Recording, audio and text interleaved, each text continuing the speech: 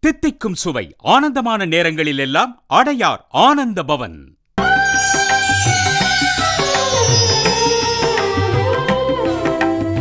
தொடர்வது இளைய நிலம். இதில் உத்தரமேரூர் தாலுகா சோமநாதபுரம் கிராமத்தைச் சேர்ந்த பாஸ்கரன் என்ற பட்டதாரி இளைஞரின் அனுபவ பகிர்வுகள் இடம்பெறுகின்றன. பிஇ ஆட்டோமொபைல்ஸ் முடித்திருக்கும் இவர் டிசைன் இன்ஜினியராக பணியாற்றிக் கொண்டே வார இறுதி நாட்களில் தனது அண்ணன் பரத் அவர்களுடன் சேர்ந்து விவசாயத்தில் ஈடுபட்டு வருகிறார். ஒருங்கிணைந்த விவசாயத்தை கையில் எடுத்திருக்கும் பாஸ்கரன் நாட்டுக்கோழி வளர்ப்பில் கவனம் செலுத்தி வருகிறார். வாருங்கள் பாஸ்கரன் அவர்கள் சொல்வதை பார்ப்போம்.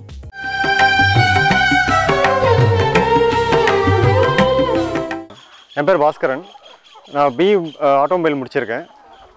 சென்னையில் ஒரு தனியார் நிறுவனத்தில் வேலை செஞ்சிட்ருக்கேன். இப்போ நானும் என்னோடய அண்ணன் கூட சேர்ந்து வந்து எனக்கு கிடைக்கிற விடுமுறை நாட்களில் சனி மற்றும் ஞாயிறு போன்ற விடுமுறை நாட்களில் வந்து இங்கே தோட்டத்துக்கு வந்து ஒருங்கிணைந்த விவசாயம் நாங்கள் பண்ணிகிட்ருக்கோம் ஒருங்கிணைந்த விவசாயம் வந்து பார்த்திங்கன்னா இதில் வந்து நாங்கள் கோழி ஆடு மாடு எல்லாமே சேர்த்து ஒருங்கிணைந்த பண்ணையமாகவே இந்த தோட்டத்தை வந்து இங்கே எங்களுக்கு இங்கே இருக்கிற நிலத்தை வந்து ஒருங்கிணைந்த பண்ணையமாகவே மாற்றியிருக்கோம் இங்கே வந்து பார்த்தீங்கன்னா இது எதனால் இப்படி ஒரு ஐடியா அப்படின்னு பார்த்தீங்கன்னா கோழி பண்ணை இங்கே ஏன் அமைக்கணும் அப்படின்னு ஆசை வந்தது அப்படின்னா ஒருங்கிணைந்த பண்ணையும் இயற்கை விவசாயம் அப்படின்னு போனாலே நமக்கு வந்து அடிப்படை அப்படின்னு பார்த்தா நமக்கு கால்நடைகள். ஏன்னா கால்நடைகள் கிட்ட இருந்து நமக்கு கிடைக்கிற கழிவுகள் வச்சு தான் நம்ம வந்து இயற்கை விவசாயத்தையே நம்ம வந்து கொண்டு போக முடியும். அதுக்காக என்ன பண்ணோம் முன்னாடி பண்ண விவசாய பண்ணும்போது என்ன மாதிரி பண்ணிகிட்டு இருந்தோம் அப்படின்னா வீட்டிலேயே தேவைக்கான நாட்டுக்கோழி வளர்த்துட்டு இருந்தோம். வீட்டில் வந்து ஒரு குறைந்த எண்ணிக்கையில் மட்டும் ஒரு அஞ்சு இல்லை ஒரு பத்து கோழி மட்டும்தான் வீட்டு வீட்டை சுற்றி இருக்க இடத்துல வளர்க்க முடியும். வீட்டில் மிச்சமாகிற கழிவுப் பொருட்கள் நம்ம வீட்டில் மீதமாகிற சாதம் க வெட்டி போடுற காய்கறிகள் இதெல்லாமே வச்சு வீட்டில் வந்து ஒரு சிறு அளவில் மட்டுமே பண்ணிகிட்டு இருந்தோம். அதே மாதிரி மாடு ஆடு எல்லாமே வந்து வீட்டிலேயே வச்சு பராமரிச்சுட்டு இருந்தோம். இப்போ வீட்டிலே வச்சு பராமரிக்கிறோம் அப்படின்னும் போது என்ன ஆகுது அப்படின்னா நமக்கு வந்து வீட்டில் மாடுகளோட கழிவு எல்லாமே தோட்டத்துக்கு திருப்பி நம்ம கொண்டு வரணும் அப்படின்னா அதுக்கு நம்ம நிறைய செலவு பண்ண வேண்டியிருக்கு. நம்ம டிராக்டரை வச்சு அதை வந்து திருப்பி தோட்டத்துக்கு கொண்டு வரணும். இந்த மாதிரி நிறைய சிக்கல்கள்லாம் இருக்குது அதுக்கப்புறம் வந்து பார்த்திங்கன்னா நமக்கு வழி பிரச்சனை. வழியில் வந்து வேறு ஒரு விவசாயிகள் விவசாயம் பண்ணிகிட்ருப்பாங்க இருப்பாங்க. அந்த நேரத்தில் நமக்கு தேவையான நேரத்துக்கு நம்ம தொழு உரத்தை எல்லாத்தையும் வந்து வயலில் கொண்டு வர முடியாது. இந்த மாதிரியான பிரச்சனைகள்லாம் நம்ம சரி பண்ணணும் அப்படின்றதுக்காக என்ன பண்ணோம்? மாடு ஆடு கோழி எல்லாத்தையும் வந்து ஒருங்கிணைந்த இடத்துலையே வந்து நம்ம நம்மளோட நிலத்துலையே வந்து இதுக்கு தேவையான வந்து அளவில் சிறு கொட்டைகைகள் போட்டு மாடு கோழி எல்லாத்துக்குமே இங்கே நம்ம இங்கே அறுவடை பண்ணுற வைக்கோல் எல்லாமே இங்கேயே பாதுகாத்துக்கிறோம். வேர்க்கடலை எடுக்கிறது ஆட்டுக்கு தேவையான தீவனத்துக்காக பயன்படுத்தி அதுவும் போர் மாதிரி பண்ணி அதை சேகரித்து வச்சுக்கிறோம்.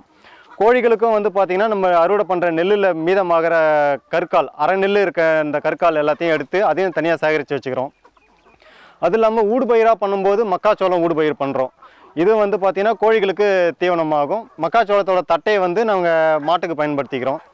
அதே மாதிரி ப எங்கள் வயலோட சுற்றி இருக்க இடத்துங்களில் வந்து பார்த்திங்கன்னா வரப்புகளை வந்து புதர் செடிகளை வளர்த்துட்ருக்கோம். புதர் செடிகளில் பார்த்திங்கன்னா வந்து புல் வகைகள் ப பண்ணியிருக்கோம். கூடுதலாக வந்து பார்த்திங்கன்னா ஆடுகளுக்கு மேய்ச்சலுக்கு தேவையான ஜவுண்டலி தலை அந்த மாதிரியான தலைகளையும் ஊடுபயிர் பண்ணியிருக்கோம். இப்போ ஆடுகளை வந்து காலையில் ஒரு பதினோரு மணி அந்த பதினோரு மணி வாக்கில் வந்து ஆடுகளை திறந்து விட்டோம் அப்படின்னும்போது எங்களோட வரப்பில் இருக்க இடத்த எல்லாத்தையும் அது வந்து தேவையான புல் அந்த தழைகள் எல்லாம் எடுத்து மே மேய்ஞ்சிக்கும். மீதி இருக்க நேரத்தில் வந்து நாங்கள் ஏற்கனவே நாங்கள் பதப்படுத்தி வச்சுருக்க இது மக்காசோள தட்டை இது வேர்க்கடலையோட செடிகள் இது எல்லாத்தையும் வந்து நாங்கள் பயன்படுத்தி ஆடுகளுக்கு தேவையானதை கொடுத்துக்குறோம்.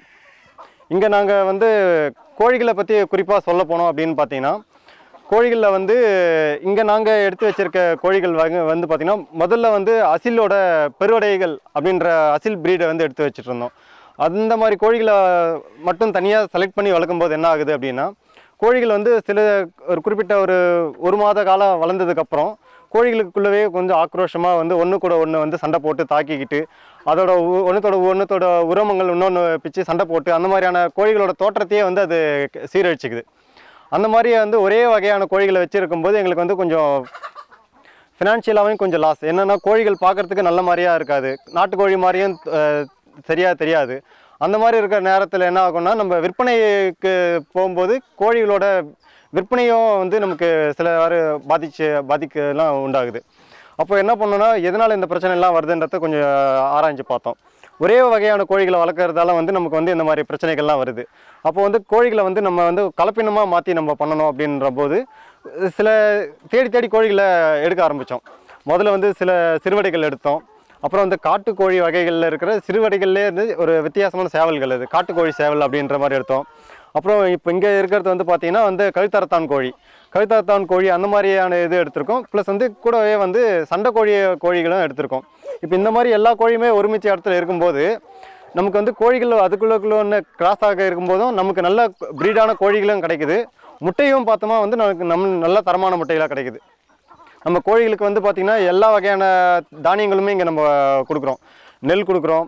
நம்ம தோட்டத்தில் அறுவடை பண்ணுற கீரைகள்லாம் போனதுக்கப்புறம் மிச்சம் மீதி இருக்க ஓரத்தில் இருக்க புல் கலந்த கீரைகள் அதெல்லாம் நம்ம பயன்படுத்த முடியாத இருக்க கீரைகளும் எடுத்துகிட்டு வந்து கா இதுங்களுக்கு வந்து நம்ம கட் பண்ணி வந்து சிறு சிறு துகள்களாக்கி இது போட்டுறோம். இது எல்லாமே எடுத்துக்கிட்டு இது நல்லா வளமாக இங்கே இப்போதைக்கு இப்போ இருக்க கோழிகள் வந்து இப்போ நல்லா வளமாகவே இருக்குது நம்ம இந்த மாதிரியான முறைகள்லாம் பயன்படுத்தி இருக்கும்போது. அது மட்டும் இல்லாமல் வந்து என்னென்னா கோழிகளுக்கு வெளியிலேருந்து நாங்கள் கோழிகள் வந்து வாங்குறதில்ல. முட்டைகளும் வாங்குறதில்ல. நாங்களே எங்களுக்கு தேவையான கோழிகளை வந்து அடைகாத்தல் மூலயமாவும் உற்பத்தி பண்ணிக்கிறோம்.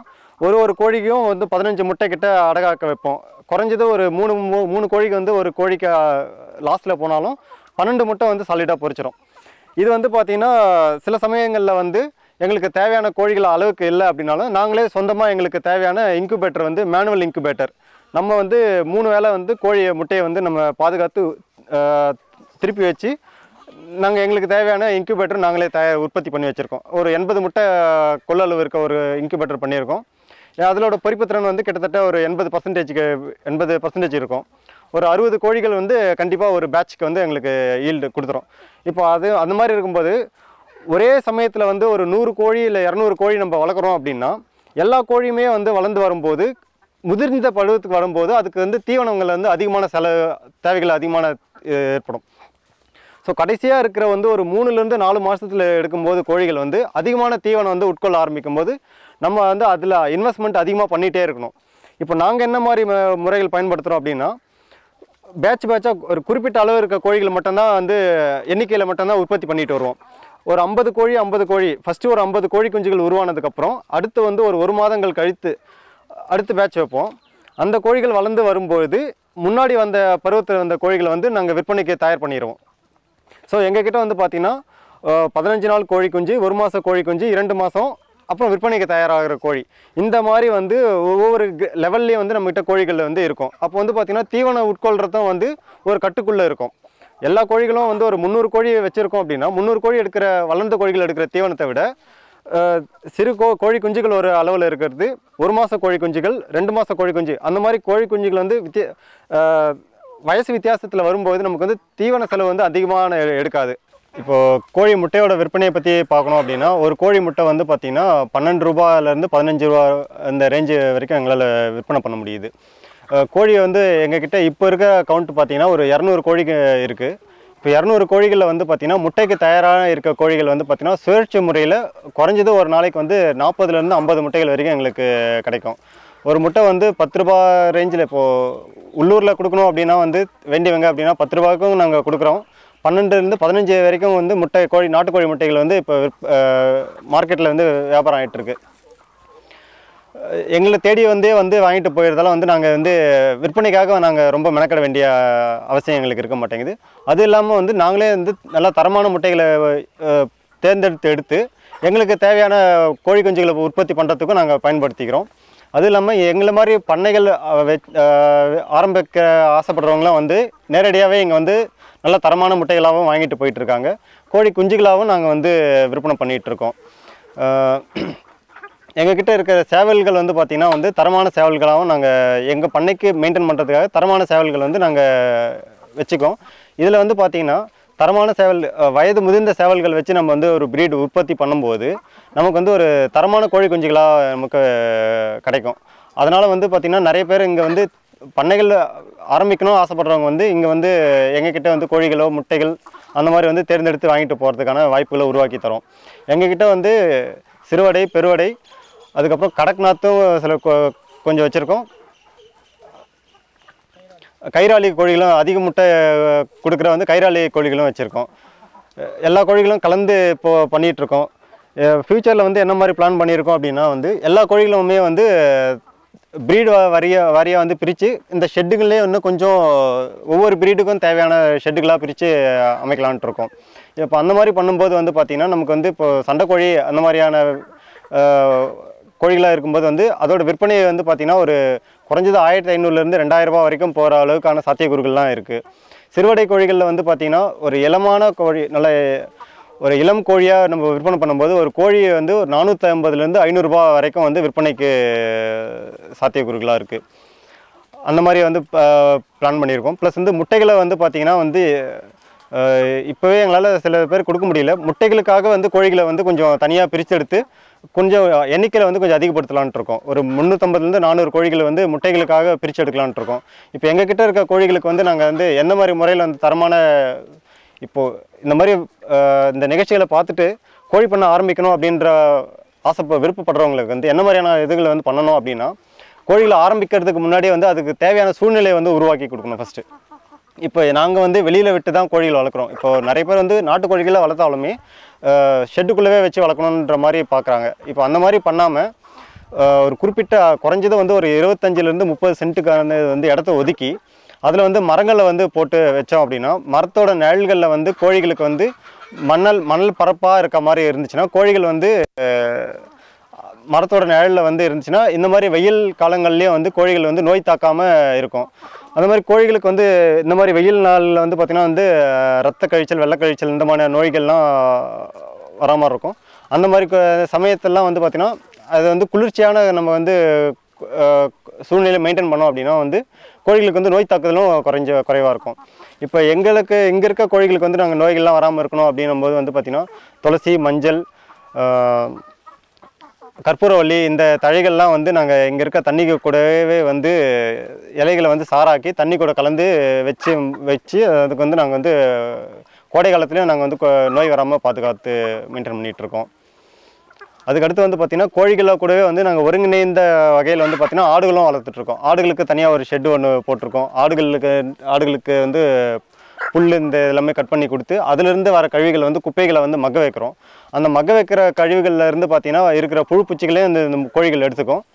மீதி இருக்க இப்போ இந்த மாதிரி மரங்களில் இருக்கும்போது பார்த்திங்கன்னா கோழிகள் வெளியே மேயும் போது இது இதில் இருக்க சாணம் ப்ளஸ் இலை இதெல்லாமே ஒன்றா மிக்ஸ் ஆகிருக்கும்போது ஒரு குறிப்பிட்ட கால ஒரு மூணு மாதத்துக்கு ஒரு வாட்டி இங்கே இருக்க இலைகளும் சாணம் எல்லாத்தையுமே பெருக்கி கூட்டி அதுவே வந்து ஒரு நல்ல ஒரு உரமாகவே வந்து நாங்கள் பயன்படுத்திக்கிறோம். இது இல்லாமல் வந்து மாடுகளும் தனியாக வச்சுருக்கோம். மாடுகளுக்கும் இங்கே தோட்டத்திலே வந்து அமைப்பு உருவாக்கி இருக்கோம் மாடுகளோட சாணத்தையும் வந்து எருவாக பயன்படுத்தி நாங்கள் எல்லா காய்கறி கீரை எல்லாத்துக்குமே வந்து பயன்படுத்தாத எங்களுக்கு வந்து உர தேவை வந்து எங்களுக்கு பெருசாக ஏற்படுறதே இல்லை. இங்கே இருக்கிறதே வந்து எங்களுக்கு வந்து ஒரு நல்ல உரமாகவும் எல்லா வகையான சத்துக்களும் எங்களுக்கு கிடச்சிருது. இப்போது நெல் பயிர்கள்லாம் பண்ணும்போது இங்கே இருக்க தழைகள் வந்து மழை காலத்தில் அதிகமாக உயரமாக வளர்ந்துருக்க நேரங்களில் வந்து புயல் போன்ற இதில் பாதிக்காமல் இருக்கிறதுக்காக காவாத்து பண்ணும்போது காவாத்தும் பண்ணிக்குவோம். காவாத்து பண்ணி அது வந்து தழைச்சத்துக்களை பயிருக்கும் பயிர்களுக்கும் கொடுத்துட்றோம். ஸோ இப்போ வெயில் காலத்துக்கு வந்து பார்த்திங்கன்னா மரங்கள் வந்து பழையபடி வந்து நல்ல தை தளிர்ச்சி வந்து நல்ல ஒரு குளிர்ச்சியான சூழ்நிலை வந்து கோழிகளுக்கு உருவாக்கி கொடுக்குது எங்களுக்கு. இப்போது எப்படி இதை பராமரிக்கிறோம் அப்படின்னு பார்த்தீங்கன்னா காலையில் வந்து ஒரு ஆறு மணிக்கு வந்து கோழிகளை வந்து ஷெட்டு விட்டு திறந்து விடுவோம். ஷெட்டு விட்டு திறந்து விட்டோம் அப்படின்னும்போது கோழிகளுக்கு வந்து இந்த மாதிரி இயற்கை சூழலே இருக்கிறதால வந்து கோழிகள் வந்து அதுங்களாக கூட ஷெட்டுக்குள்ளே போகிறதுக்கான வாய்ப்பு கூட ஏற்படுத்திக்காது. ஈவினிங் ஆறு மணி வரைக்கும் கோழிகள் வந்து பார்த்திங்கன்னா வெளிப்புறமாகவே தான் மேய்ஞ்சிட்ருக்கோம். காலையில் கோழி திறந்து விடும்போது வந்து நெல் போன்ற தானியங்களை வந்து தூவி விட்டுரும். அது வந்து பார்த்திங்கன்னா தரையிலேருந்து சீச்சி காலை சீச்சி மூக்கை குத்தி எடுக்கிறதால வந்து பார்த்திங்கன்னா விரல் நகங்கள்லாம் வந்து மட்டுப்படும். ப்ளஸ் மூக்கும் வந்து கூர்மையாக இருக்கிறது வந்து குறையும். இதனால் வந்து கோழிகள் வந்து ஒன்றோட ஒன்று தாக்கிக்கிறது வந்து குறைவாக இருக்கும். இதனால் வந்து கோழிகள் தாக்க தாக்கிக்காததுனால கோழிகள் பார்க்குறதுக்கும் வந்து ஒரு நல்ல ஒரு ஷைனிங்காக ப்ளஸ் உரோமங்களோட இருக்கும்போது கோழிகளை வந்து விற்பனைக்கு எடுத்துகிட்டு போகும்போதும் வந்து நல்ல தரமான கோழிகளாக நமக்கு தெரிய வரும். வெளிப்புறத்திலே மேய்ஞ்சிட்டு இருக்கும்போது வந்து பார்த்திங்கன்னா இந்த இயற்கை சூழலை மெயின்டைன் பண்ணிட்டு இருக்கிறதால கோழிகளுக்கு நோய் தாக்குதல் வந்து ரொம்ப கம்மியாகவே இருக்குது அதனால் எங்களுக்கு வந்து நோய்க்காக நாங்கள் வந்து கோழிகளுக்கு செலவு பண்ணுறது வந்து ரொம்ப கம்மி. இதனால் வந்து லாபகரமாக தான் இருக்குது இதில் நமக்கு நஷ்டன்றது மாதிரி எதுவும் இல்லை. இது வந்து தினசரி வருமானத்துக்கு வந்து ஒரு நல்ல உகந்ததான ஒரு முயற்சியாக இருக்கும். இப்போ கோழி முட்டையிலேருந்து ஒரு ஒரு நாள் ஒன்றுக்கு வந்து பார்த்திங்கன்னா நானூறுலேருந்து ஐநூறுரூபா வரைக்கும் வந்து ஒரு நாற்பதுலேருந்து ஐம்பது முட்டை கிடச்சாலே வந்து நமக்கு நானூறுலேருந்து ஐநூறு கோழி ஐநூறுரூபா வந்து கையில் நிற்கும் இப்போ இதில் வந்து நமக்கு கோழியோட பராமரிப்பு செலவு அப்படின்னு பார்த்தீங்கன்னா நம்ம வருவோம் திறந்து விடுவோம் தீவனம் அந்த மாதிரியான மெயின்டெனன்ஸ் தான் பண்ணுவோம்.